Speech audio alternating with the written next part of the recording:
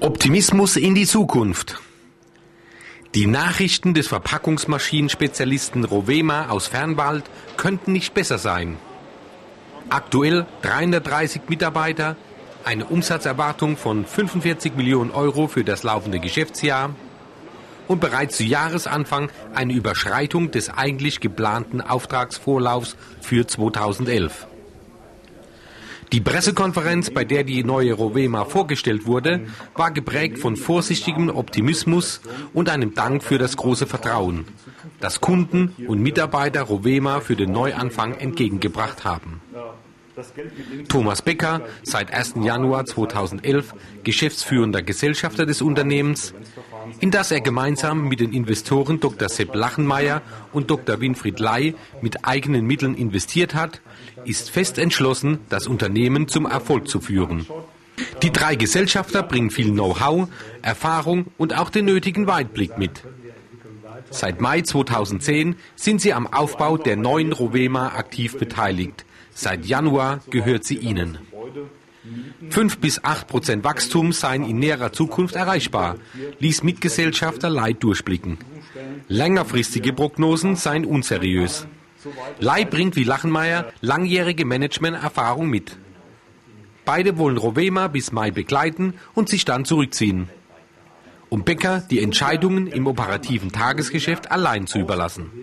Nach vorne sei der Blick gerichtet, sagt Becker, und dass sie auf dem Boden bleiben werden. Gesundes Wachstum streben sie an. Die drei Ingenieure, denen man die Lust und Freude am Bau gediegener, hochwertiger Verpackungsmaschinen anmerkt. Alle drei bringen zudem große kaufmännische Erfahrung mit, sodass sie trotz aller Technikliebe die wirtschaftliche Seite des Unternehmens bestens im Auge haben. Die Existenz vieler hundert Menschen hänge von Rovema ab. Dieser Verantwortung sind sich die drei sehr wohl bewusst. Der erste Höhepunkt wird die Leitmesse der Verpackungsindustrie in Düsseldorf Mitte Mai sein. Auf der für die Branche auch international wichtigsten Messe Interpack wollen die Verpackungsspezialisten einen überraschend großen Strauß von Produktneuheiten vorstellen, die dem Unternehmen einen weiteren kräftigen Schub nach vorne bringen sollen. Nun zahlt sich aus, dass auch während der schwierigen Zeit weiterhin auf Forschung und Entwicklung gesetzt wurde. Vertriebschef Roland Kuhn stellte die Neuerungen den Redakteuren im Detail vor und ließ dabei keine Frage offen.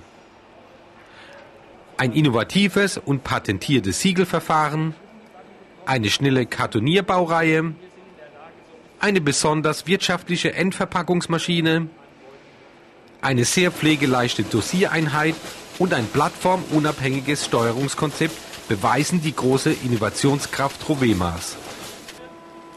Zentrales Element der Steuerung ist das offene Betriebssystem Linux. Ihr Einsatz ist somit auf Systemen vieler verschiedener Hersteller möglich. Kundenorientierung ist das neue große Leitmotiv.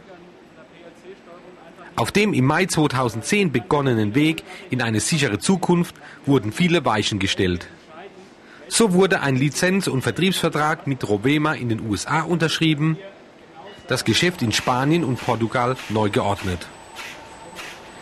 Von der Zentrale in Fernwald aus werden jetzt die Vertretungen in Spanien, Portugal, Polen, den Benelux-Staaten, England und in Italien gesteuert.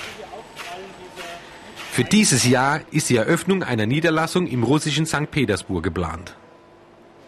Es geht wieder aufwärts in Fernwald für die neue Rovema.